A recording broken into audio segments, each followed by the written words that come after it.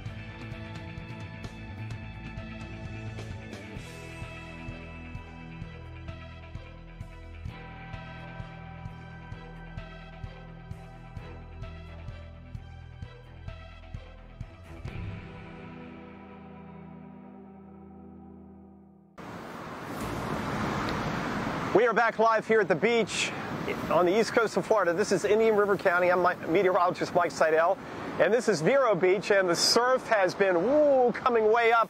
Ahead of Nicole, we have hurricane warnings up for this part of the coast, the Treasure Coast, Melbourne, the Space Coast, and all the way down through Indian River uh, here, Martin County, just to the Palm Beach County line.